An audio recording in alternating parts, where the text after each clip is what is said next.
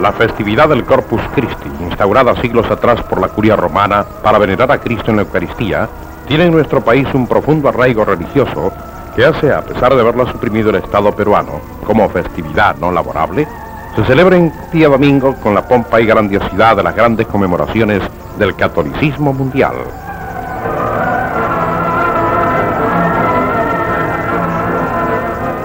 Aquí mostramos algunas tomas de la solemne procesión en el perímetro de la Plaza de Armas de Lima, donde el cardenal primado de la Iglesia peruana, Monseñor Juan Landazuri Riquez, lleva la sagrada forma cumpliendo el rito de esta festividad.